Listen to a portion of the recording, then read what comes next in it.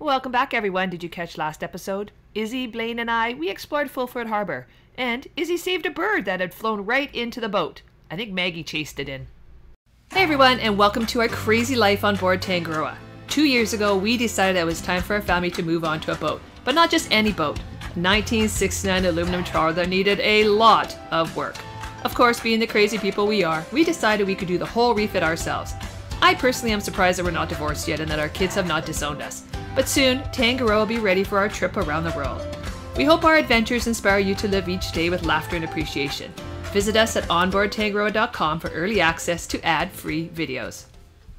So Janice has been asking me really nicely if we can get the washing machine working on the boat so we don't have to keep going off the boat to do the, the laundry. And when I say we, Janice doesn't have to keep going off the boat to do the laundry because uh, she's uh, she's been doing that because she's got a little bit more time lately. And uh, anyway. we now have a working washing machine. I've got the dryer working as well, um, but uh, washing machine's working. It's just draining at the moment. You'll see later on that I don't get to keep the dryer. Blaine actually yeah. despises it and cuts it apart and, and removes it from the engine room. But that's for a later video.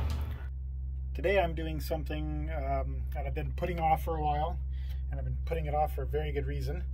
Um, I've been trying to kind of clean up all the different sections of the bilge. Um, aluminum doesn't really like standing water. Uh, pH balances go off on the acidic side, and it starts making corrosion pits in the aluminum and it'll just dig deeper and deeper and deeper until it goes right through. So I've done most of the bilges in the boat, but one that I haven't done yet um, here is, uh, this is in the guest head. So I've got to crawl in here and as you can see, all down in there is gross and it's been wet and it's been sitting. Uh, so what uh, what you have to do with it is you get out all the existing water and then you take a mixture of water and baking soda. I usually mix a little bit of soap in there as well just because I'll be scrubbing. And when you put it into the bilge, it gets in and it uh, it neutralizes the acids in the bilge, so it'll it'll halt any of that corrosion. Um, and you can see little bits of where that's happening everywhere there's like one of those little round white spots, that's um, that's where the corrosion has started to, to crevice its way in. So I'm just gonna I'm gonna get in here and I'm gonna scrub this all out so the water doesn't have a place to kind of sit. And then I'm gonna flush the whole thing with this uh, solution of baking soda and water and um, give it a good scrub. Then I'll vacuum that out uh, and try to dry it out a bit in here Unfortunately, I can't keep it completely dry because we still haven't sorted out the, uh, the holes under the rail up top. But at the very least, I can get rid of all the really nasty in here. Um, and uh, also need to get rid of all this copper in here at some point. That's not good having that get um, uh, rinsing ions down into the bilge for copper. Copper and aluminum, very bad. I'm going to see if I can give you an idea of this hole that I'm crawling into here. So this is behind the head here.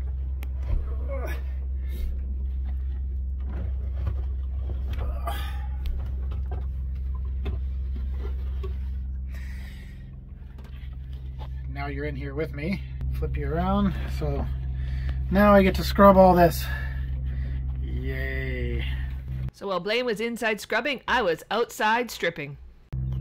Okay, this is kind of cool. So I've been messing around with the paint, trying to figure out how to get it off. So I thought I would put some paint stripper on here. And look at it. It looks so saggy. Look. Oh my God. Oh my gosh. But it didn't get into the filler. It just got all the paint off. Look at that. It almost looks like it's down to weird.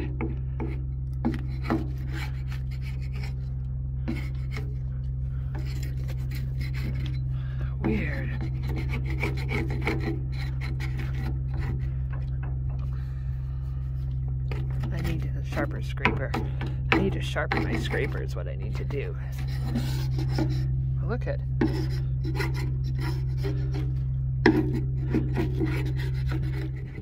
So that last clip was the door coming onto the aft deck. I also put paint stripper on a gunnel. So I put paint stripper on this, I sharpened my scraper, and this works much better. In my opinion though, the paint stripper was a fail. It did not even touch the Bondo. So I was back to the heat gun. This is how we're doing so far. I'm using a heat gun on this, but look how thick this is. I don't know if you can see this down. It is so thick and it's taking me quite a bit and I think I think I'm getting blisters, but that's okay. My goal is to finish the end of this today. But when you, the pud is really soft when you use a heat gun, but then it gets like, it's kind of fun. It's like really crispy. It's like chips, potato chips, which I love by the way. But yeah, so we are slowly taking this off. You can see I've got this part done first. I still will have to grind just a little bit, but it will create very little dust. And then I just heat gun this. But I gotta show you, I screwed up when I did the uh, paint stripper, look, I took off some decals. I'm not to tell Blaine, he'll get mad at me. But I think I'll have to get that one piece redone. Yeah, I have to get a razor blade and fix that. Oops. Oh well. Okay, back to it.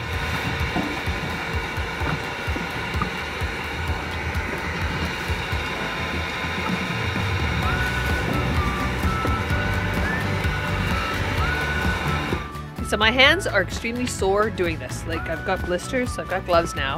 Um, but there's a lot of Bondo on this boat. So I think the key thing is just do a little bit every day. But let me show you where I'm at. So this is where we're at.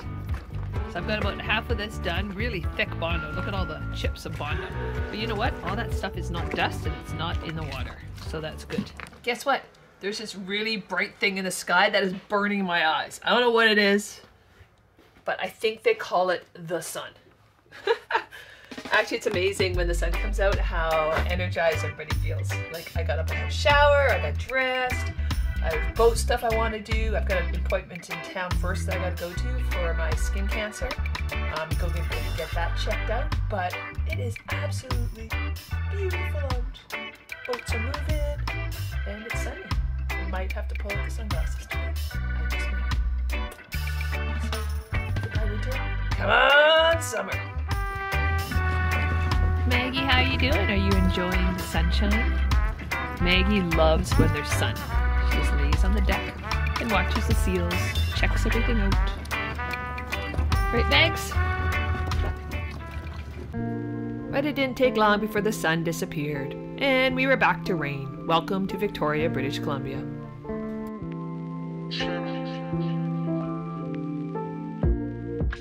Okay, skin cancer checkup time. That's what it is. Let's see uh, what the scoop is after using all that cream and what the doctor thinks of my and face and everything else. So that was a full body scan. Um, yeah, everything looking for bad moles. He has a little magnifying glass, just checks everything. Highly recommend it. There's two areas just on my right side um, that got some liquid nitrogen. Ow, that really hurts. But everything else is good. I don't have to come back to the skin doctor for one year, which I'm uh, very grateful for. He said my face and nose, and everything looks good too.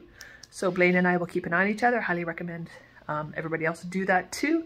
And uh, yeah, great news today. Okay, I broke the boat.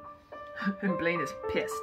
So I was working on my laptop and I totally forgot the generator was running. And I know you're gonna say, well, how did you not hear the generator? I just kind of zoned it out. So I just totally forgot it was running and I charged the batteries to 94%. I'm only supposed to charge them to 80%. I knew we had overcharged them when everything turned off on the boat. Like TV, internet, everything shut down. So Blaine is a little bit pissed and he is on his way out to figure out what's going on.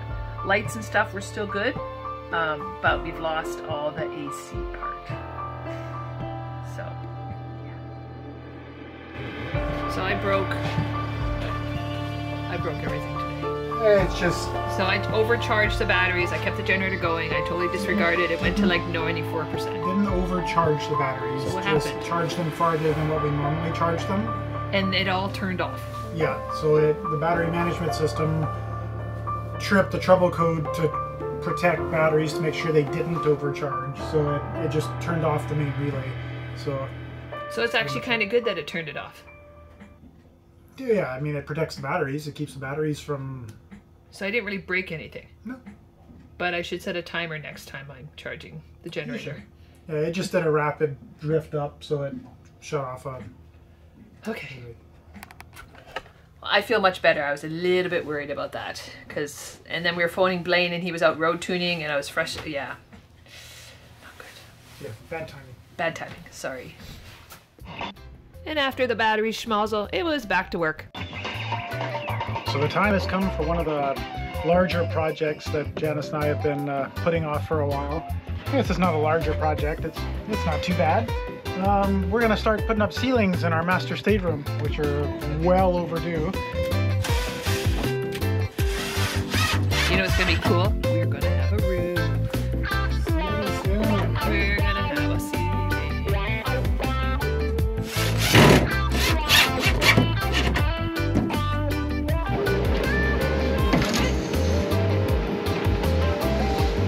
chill for a bit. Are you having fun?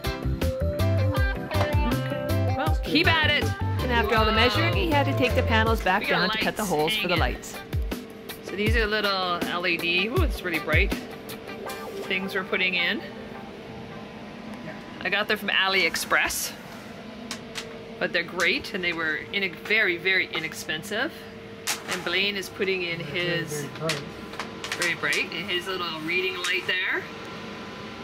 Yeah, gotta finish installing this guy. And then mine already works. And then we're gonna put another one in this corner because over here, which is the port side of the boat, is going to be my reading bench. You'll get to see that being built in a later episode. What am I doing? It is time to check out the swag and get it all organized for our Patreon channel. I think that's very important. We want to have, first of all, I want to deal with a local company. And second of all, I want a company that cares as much as I do. I want to make sure the product is awesome. I want the hoodies to be cozy. I want the t-shirts to fit perfectly. I want the printing to be pristine.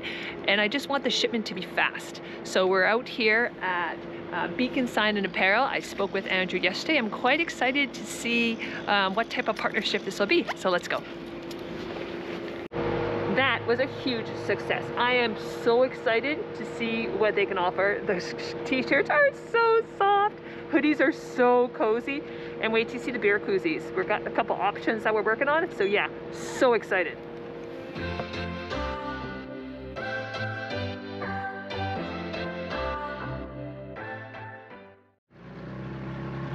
It's pretty wild morning out. Like this fog this winter. Like, check it out. So the sun's coming up. It's early. I'm heading to Nanaimo today, and Blaine's got to work. So fog over here.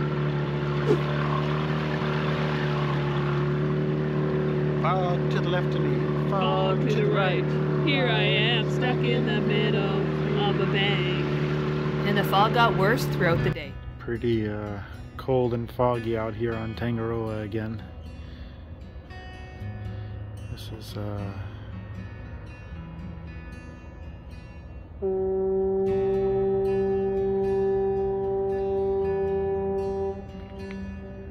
got the Brentwood Bay Ferry sounding their horn. It's just so wild when we wake up and it's totally socked in like this. Eerie and beautiful at the same time.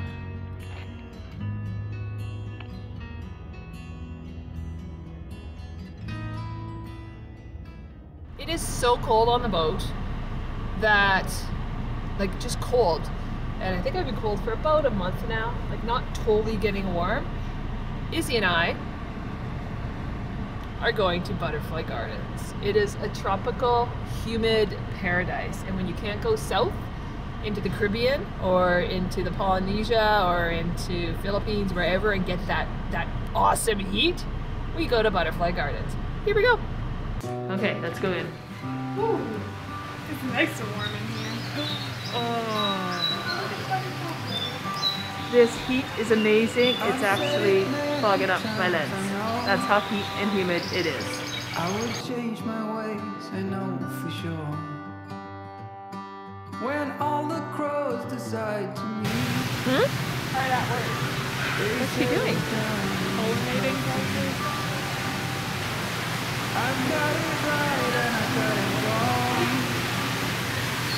You do it again.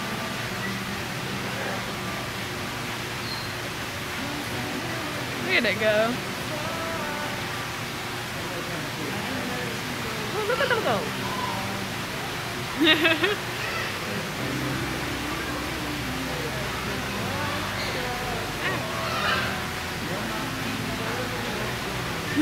so cool. What's this called? A sensitive plant, Mimosa pudica.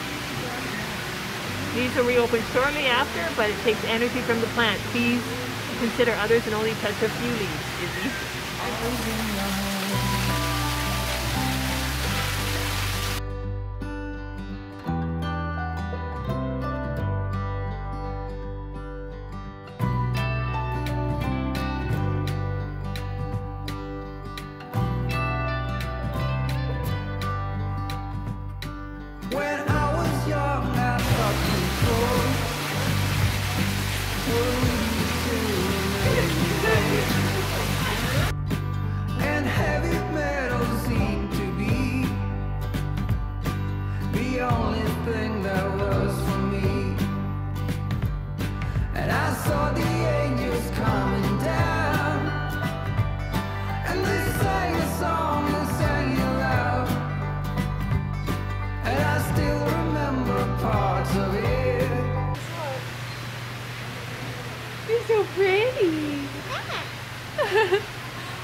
just said thanks to me. I think you said thanks too.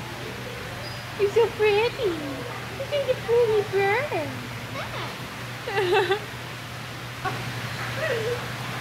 what do I do?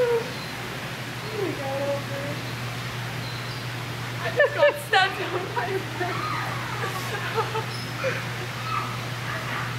that was terrifying, but I loved it at the same time. Terrifying but loved at the same time. Yeah. You got stepped on by a bird. Yes. Have you not been stepped on by a bird before? I've held a parrot like a baby, I remember that. but- Yeah, but that was in Mexico. Yeah. This is exciting, eh? Yeah.